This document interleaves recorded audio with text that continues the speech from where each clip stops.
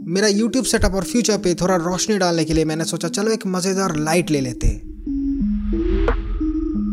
अब रोशनी ही चाहिए तो रंग क्यों नहीं? तो मैंने अपनी औकात के अनुसार अमेजोन पे कर लिया भरोसा। और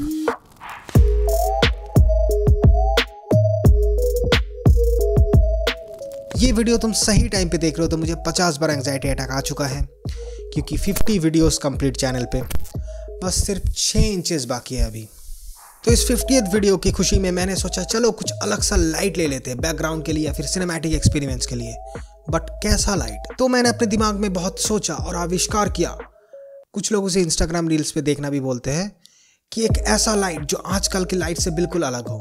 So presenting to you the sunset lamp sorry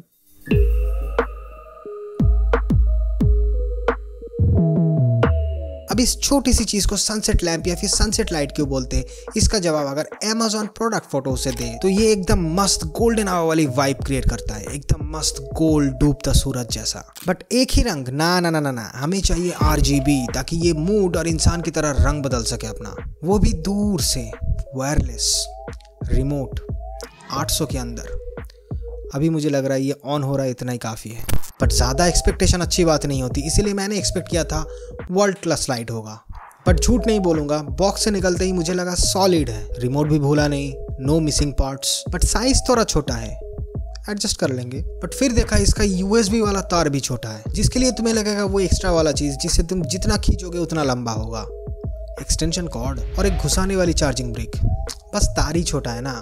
adjust कर लेंगे। फिर मैंने लगा के सब सेट करके किया ऑन जली नहीं। बट परंपरा के हिसाब से रिमोट पे थोड़ी फुंगसुक वांगरू वाली इंजीनियरिंग मारने के बाद हुआ फाइनली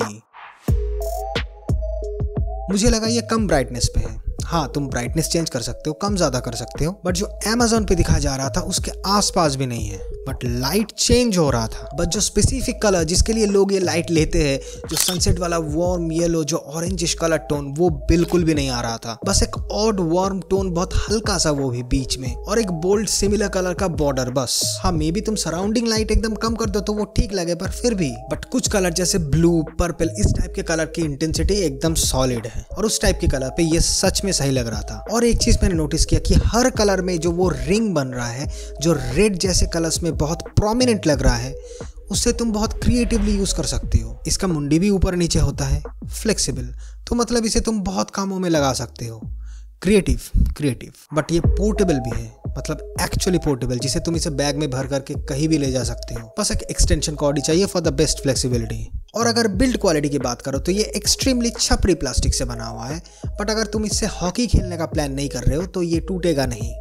सॉलिड है। एनाफ है। अब आता है मेन चीज़ लाइट की क्वालिटी देखो मैंने पहले ही बोला है ब्लू साइन मेजेंटा पर्पल इस टाइप के कलर्स के अलावा बाकी सारे कलर्स बेकार ही बोल सकते हो। बट हाँ आई एम प्रिटी श्योर कि मैंने आर वाला वर्जन लिया, इसीलिए इसका कलर ऐसा है। अगर तुम नॉर्मल वाला वर्जन जो सनसेट वाला ही वर्जन लोगे तो उसका नॉर्मल कलर जो होगा, वो बहुत कड़क होगा। तो आर पे दिक्कत क्यों? वेल आर पे दिक्कत नहीं है। ये चीप वाले जो आर लाइट्स होते हैं ना, चाहे वो तुम ऐसा लाइट ले लो या फिर ऐसा, जिसका रिमोट ऐसा होता है, तुम आँख बंद करके भरोसा कर सकते हो। इनका येलो और ग्रीन कलर से एकदम कोविड वैक्सीन जैसा काम करेगा। बट हाँ लाइट को कम ज़्यादा कर सकते हो। कुछ कुछ इफेक्ट्स दे सकते हो। तीन चार इफेक्ट्स है, जिसे तुम क्रिएटिवली यूज़ कर सकते हो। जैसे ये फेड इन इफ़ेक्ट ये बहुत सही लगता है कुछ चीज़ों पे। मैंने तो ये बैकग्राउंड लाइट के लिए लिया था और मैंने यूज़ भी किया है लास्ट वीडियो में। अगर देखा नहीं है तो देख सकते हो। बट इतना फ्लॉज होने के बाद भी एक्चुअली तुम इसे बहुत क्रिएटिवली यूज़ कर सकते हो। इसीलिए मैंने इसे रिटर्न नहीं किया है। जैसे तुम एक्चुअली प्रैक्टिकल लाइट के हिसाब से यूज़ कर सकते हो। एज लाइट या हेयर लाइट के हिसाब से यूज़ कर सकते हो। कुछ स्पेसिफिक सिनेमेटिक सीन पे एकदम अलग ही तरीके से यूज़ कर सकते हो। मैं भी देख रहा हूँ ट्राई कर रहा हूँ कुछ मज़ेदार चीज़ें बनाने का। सिर्फ़ इस लाइट से।